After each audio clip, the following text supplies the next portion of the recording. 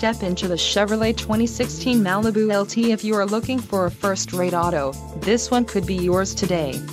This vehicle comes with a reliable four-cylinder engine, connected to a smooth shifting automatic transmission.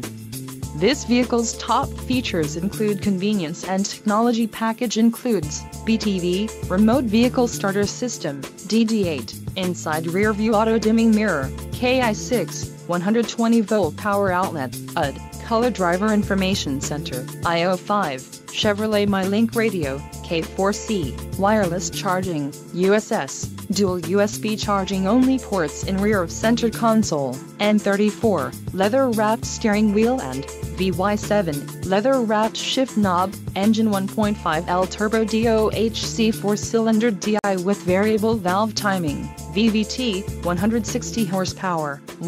119.3 kilowatts at 5700 RPM.